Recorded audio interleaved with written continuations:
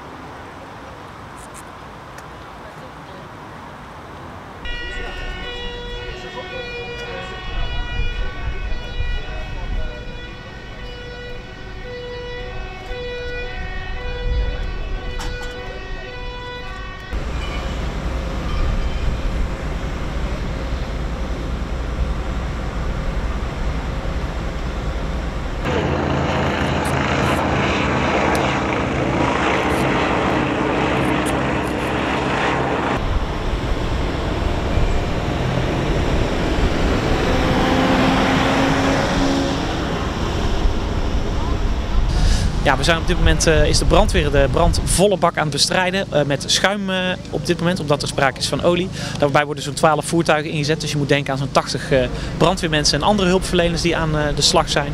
Ehm, ja, de rookontwikkeling was vrij fors, daarom hebben we ook een NL-alert afgegeven, maar is inmiddels gelukkig afgenomen.